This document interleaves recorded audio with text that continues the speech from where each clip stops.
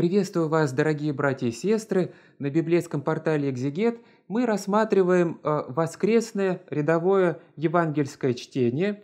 И сегодня у нас текст, посвященный э, женщине Хананеенке. На самом деле это очень такой вот интересный, хотя, может быть, где-то пререкаемый текст, а вообще он э, о великом испытании, о великом испытании, через которое зачастую Господь проводит человека – и мне э, хочется для начала все-таки вот прочитать сам текст, он очень небольшой. «И выйдя оттуда, Иисус удалился в страны Тирские и Сидонские. И вот женщина Хананеенко, выйдя из тех мест, кричала ему, «Помилуй меня, Господи, сын Давидов, дочь моя жестоко беснуется». Но он не отвечал ей ни слова. И ученики его, приступив, просили его, Отпусти ее, потому что кричит за нами». Он же сказал в ответ, «Я послан только к погибшим овцам дома Израилева». А она, подойдя, кланялась ему и говорила, «Господи, помоги мне». Он же сказал в ответ, «Нехорошо взять хлеб у детей и бросить псам». Она сказала, «Так, Господи, но и псы едят крохи, которые падают со стола господ их». Тогда Иисус сказал ей в ответ, «О, женщина, велика вера твоя, да будет тебе по желанию твоему». И исцелилась дочь ее в тот час. Вот, э, братья и сестры, э, зачастую мы хотим, чтобы Господь сразу нам подавал какие-то чудеса. Мы помолились, и тут же вот все нам, да, э, допустим, заболел, помолился, тут же исцелился. А, не готовился к экзамену, помолился и тут же сдал на отлично. Иногда, кстати, бывало такое, я знал таких людей, которые а, не успели подготовиться, но помолились, и действительно им выпадал вот тот билет единственный, который они выучили. В этом они видели такой промысел Божий. Но Вообще-то, почему Господь, вот Он, понимаете, должен бегать как на побегушках за нашими просьбами? Мы всегда хотим, чтобы нам Господь подавал чудо, чтобы Господь исполнял нашу волю. Ну, а сами мы волю Божию исполняем или нет? Вот если мы сами волю Божию не исполняем, то почему мы хотим, чтобы Господь всегда исполнял нашу волю? Вот. И поэтому, конечно, Господь э, лучше слышит таких людей, как э, преподобный Сергий Радонежский, Серафим Саровский, Паисий Святогорец, вот, э, э, блаженная Матрона Старица, да, э, потому что они волю Божию исполняют. А вот мы не всегда исполняем, поэтому, может быть, и не нужно тоже вот так вот спешить сразу нашу волю исполнить. Итак, вот текст перед нами. «И выйдя оттуда, Иисус удалился в страны Тирские и Сидонские». То есть, обычно-то мы все время думаем, что Господь вот Он находился где-то среди э, иудейских территорий. На самом деле зачастую не так. Вот, собственно, в Иудее Господь э, ходил не так много. И в Иерусалиме он вообще появлялся редко. А э, больше он ходил где-то там в Галилее, а иногда даже он, видите, выходил за территории богоизбранного народа и посещал вполне языческие места. Причем удивительно, что евангелист не, э, не объясняет, почему, из-за чего, но э, вот святые отцы, может быть, так вот они а, толкуют, что иногда Господу тоже нужно было побыть где-то э, в уединении, чисто вот по-человечески, чтобы возвратить себе силы и побыть просто вот с учениками своими, так как на территории иудейских мест – там постоянно толпы людей его окружали, теснили, и им некогда было побыть наедине. И вот э, так или иначе, но Господь туда выходит, и вдруг э, оказывается, что и там про него уже знают. Про Господа и там уже слышали, и женщина Хананеенко, выйдя из тех мест, а вот она спешит к нему. А вспомним, кто такие Хананеи. А вот, братья и сестры, это очень важно вспомнить. Это не просто вот какие-то там язычники, а это язычники, изгнанные э, с территории э, Святой Земли.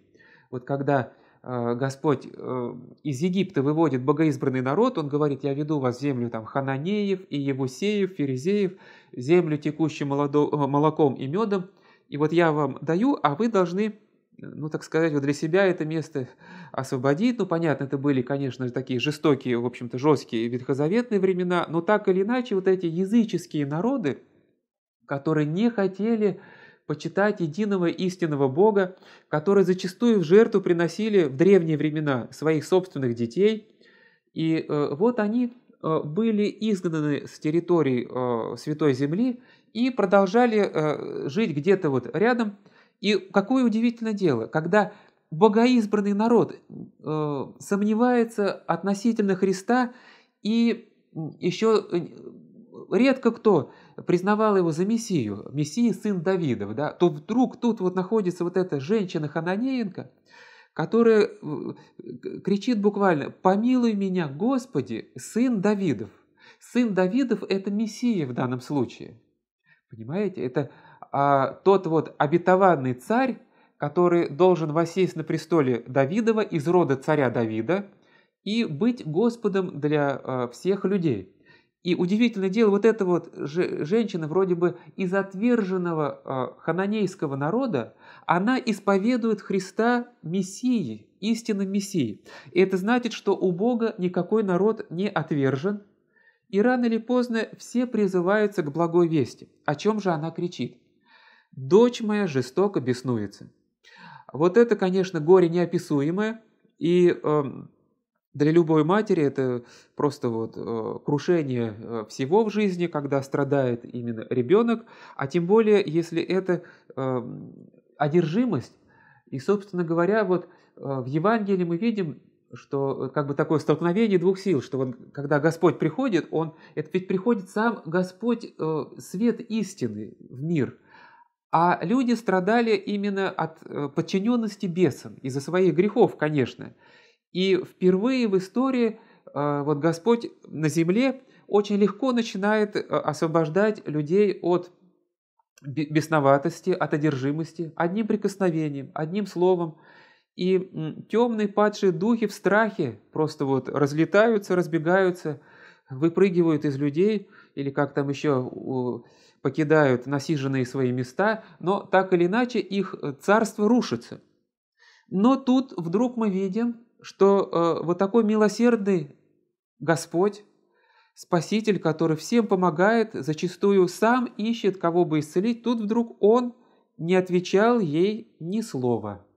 И вот, братья и сестры, это как раз урок всем нам, когда мы э, молимся, мы хотим чего-то э, достичь, а в ответ как будто тишина, и э, как будто ничего, э, как будто Господь не слышит. В общем, возникает именно у нас такая мысль, что мы молимся, а Бог нас не слышит и не обращает на нас никакого внимания. Вот я помню, как один знакомый, а, ну, достаточно дружный мы э, были вот семинарист, как он, когда закончил учебное заведение, а ему э, надо бы как бы и жениться, чтобы потом принимать священный сан, и вот он в такой скорби говорил, что э, вот э, я никак не могу ни с кем познакомиться, и я, говорит, вот молюсь, молюсь, и мне кажется, что я, чем больше молюсь, тем мне хуже становится.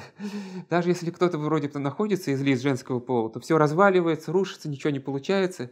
И чем больше молюсь, тем хуже становится. То есть э, Господь, наоборот, все там закрывает, все пути.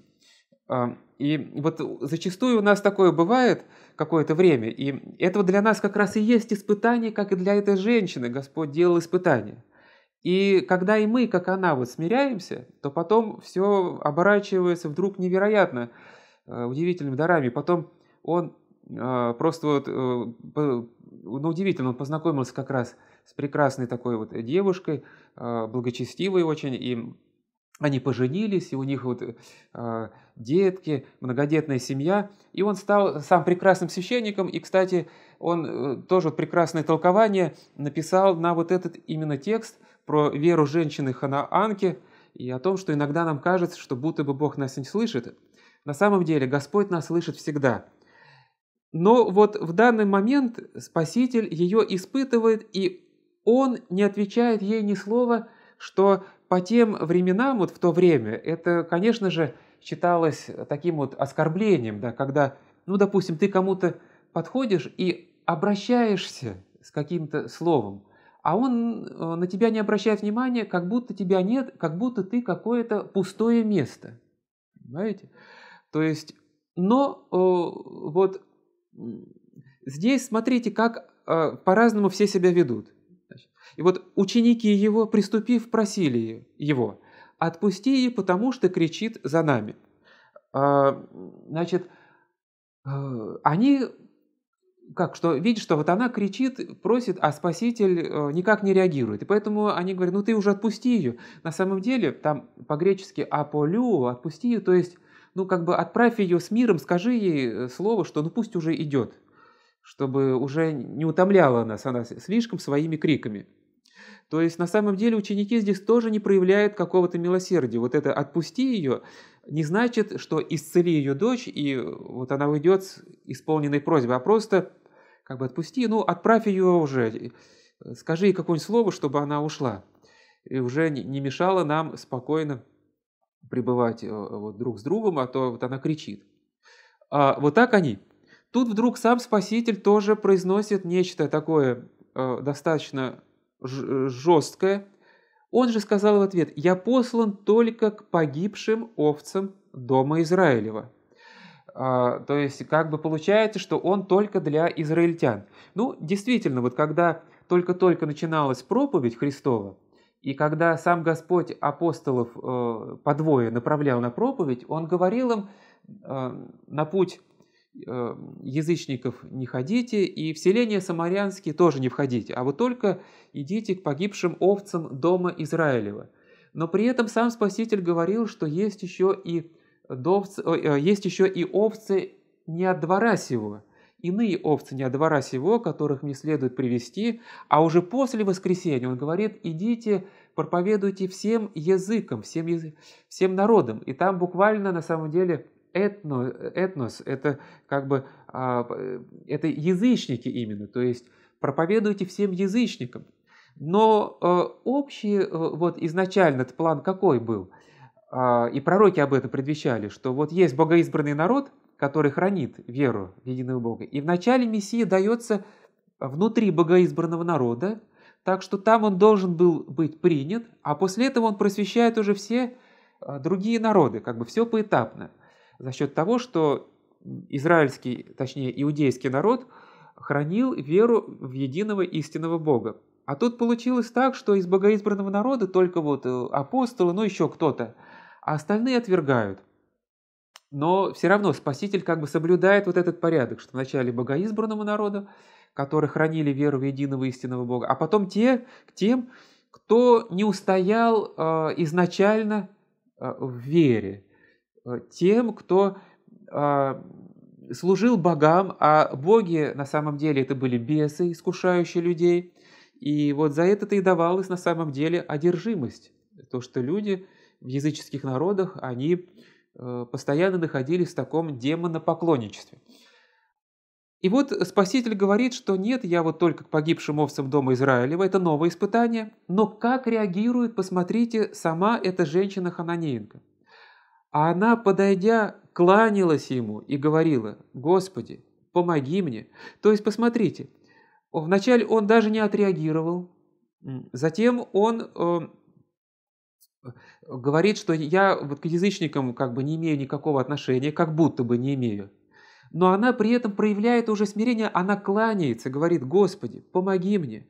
И вот тут, братья и сестры, это вот уже прямо для каждого из нас огромный урок – вот тут он говорит самое потрясающее.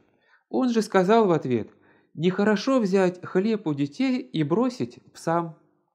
Вот представьте, что если вы пришли куда-то в храм, да, а, и вы там надеетесь получить какую-то милость да, от Господа, какое-то а, какое благо, и вдруг встречаете откровенное такое хамство от кого-то, кто-то на вас ушат воды выливает – и вот многие тут же ломаются в этом искушении. И, э, как сказать, э, вот эта вот обидчивая такая болезненность, и она показывает, что у нас не хватает смирения, чтобы пройти вот это испытание и быть действительно вместе с Господом, который терпел любые оплевания и любые оскорбления. Вот у меня одна знакомая женщина, Лидия Сергеевна, она рассказывает, я, говорит, как-то вот, э, ну, она в лавру ходила, потом решила храм поближе пойти. Вот я захожу в храм, э, ну, а у нее ноги больные, вот она присела в одном месте, и вдруг, говорит, ко мне подскакивает сотрудница храма и говорит, что вы сели, это вот не ваше место, нельзя.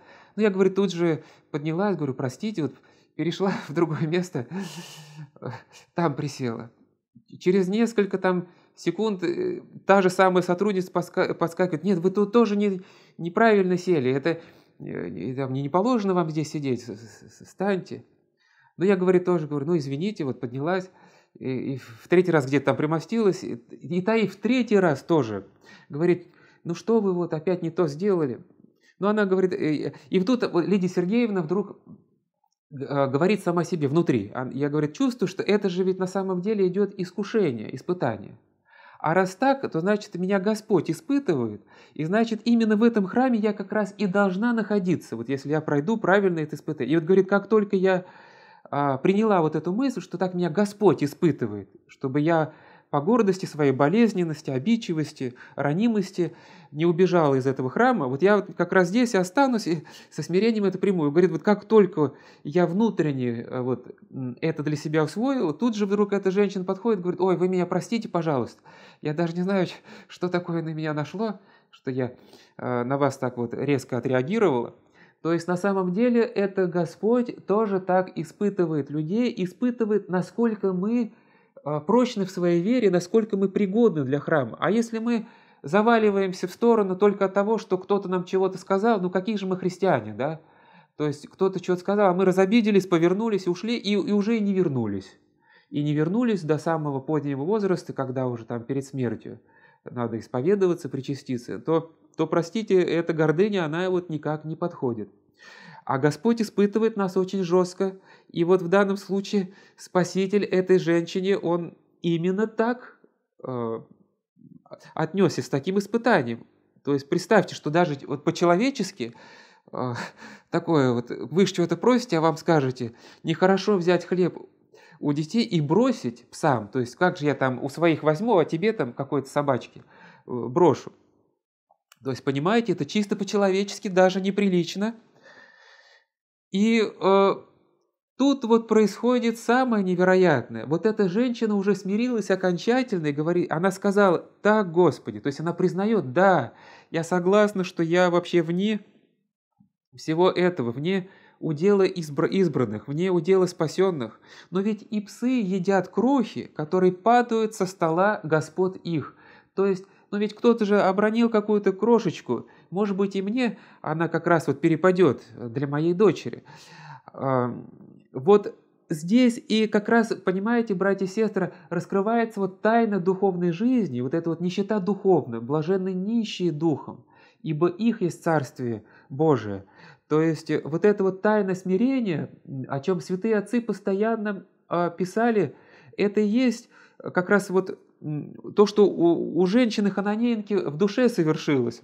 Вот в одном из древних потеряков повествуется, как к старцу одному привели, э, тоже, кстати, вот бесноватую, одержимую э, женщину, и э, старец говорит именем Господа Иисуса Христа, вот выходи из этой женщины, а бес ему обращается к нему, ну, я выйду, только ты скажи мне, кто овцы, а кто козлище. Вот помните, Спаситель, описывая суд, говорил, что те, кто с правой руки станут, это вот как овцы, придите благословенные от самые, а, наследуйте царствие, уготованное вам от, от сложения А слева это как козлище, то есть отверженные.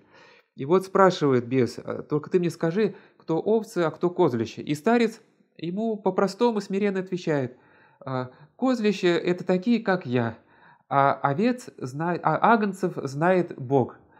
И без, э, не ожидав такого смирения, говорит, выхожу ради твоего смирения. Тут же покинул эту женщину. То есть бесы, они как раз боятся именно силы смирения.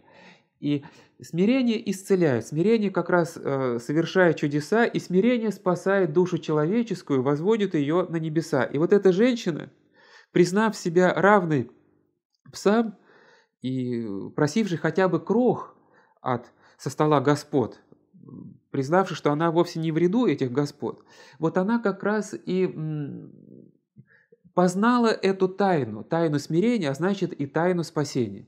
Ну, к слову, все-таки я добавлю, что на самом деле по-гречески, когда Спаситель ей говорил, то там не совсем все-таки собаки, это э, иудеи, да, иудеи язычников называли собаками, как бы нечистыми, да, животными.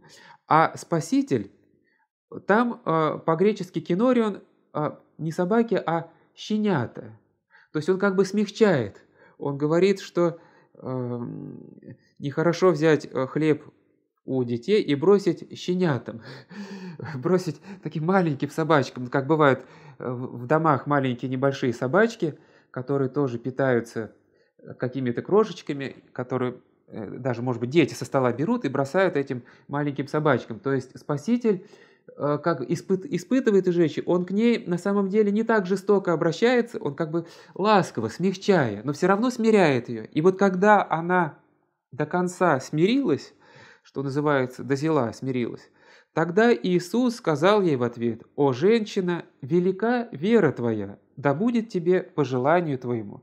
И исцелилась дочь ее в тот час. Вот на самом деле вот эта великая вера, она и была связана с ее великим смирением – Гордый человек не может э, быть верующим. Это на самом деле так. Э, в Евангелии там тоже Спаситель говорил, как вы можете веровать, принимая славу друг от друга, а славы, которая от единого Бога, не ищете. То есть гордый человек, который принимает славу от других и сам себе ищет славу, он не может быть верующим, он только формально верующий. А вот смиренный человек, который свое «я» истукан своего «я» не спровергает, он как раз, э, у него и вера родится в душе, потому что он не себя в своем сердце возвеличивает, а он возвеличит в своем сердце Господа. И э, все вот это испытание, даже вроде бы с таким вот унижением, Господь э, проводил для того, чтобы показать величие веры этой женщины-хананеенки, величие ее смирения, и показать, за счет чего только и может исцеляться душа и по молитве смиренных людей исцеляются другие. Вот по молитвам, по просьбе этой смиренной женщины исцелилась от беса ее дочь в тот же час.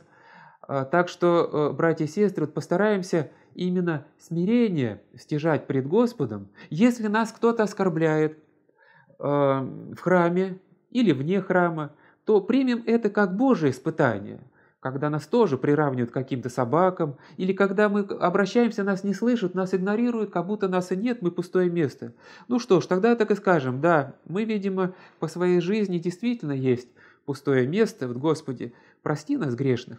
И вот такая молитва совершит чудеса. А если мы даже вот о чем-то просим, а Господь поначалу не помогает, вот как этой женщине, то значит надо терпеливо молиться дальше, потому что сама молитва – это уже великое сокровище, это уже общение с Господом. Самое главное, чтобы такая молитва исходила из чистого и смиренного сердца. Храни всех Господь, дорогие братья и сестры.